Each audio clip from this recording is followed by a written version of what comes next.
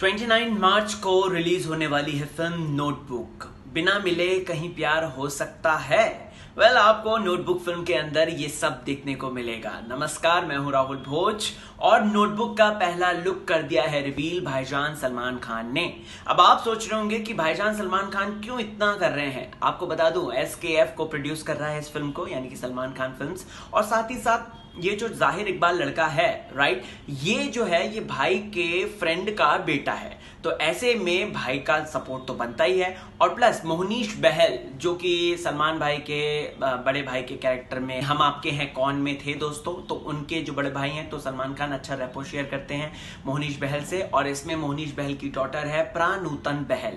ऐसे में ये जो पोस्टर रिलीज़ किया है भाई ने दोस्तों ये आ, कह सकते हैं कि बहुत ही ज़्यादा सिंपल है। एक सिंप्लिसिटी के साथ प्रेजेंट किया गया है और इसमें कोई ताम झाम कोई एक्स्ट्रा कलर वो सब नहीं इन्वॉल्व किया है। एक नॉर्मल लड़का है, वो देख रहा है नॉर्मल लड़की है, वो देख रही है। दैट्स इट तो ये अगर आप एक्सपेक्ट कर रहे हैं कि भाई सलमान खान की फ़िल्म होगी, ऐसी होगी, वैसी होगी तो ये सब कुछ भी इनिबिशंस को निकालिए दिल से, दिमाग से, और सिर्फ़ और सिर्फ़ इसे एक लव स्टोरी के रूप में देखिए, क्योंकि नोटबुक का फील वही है।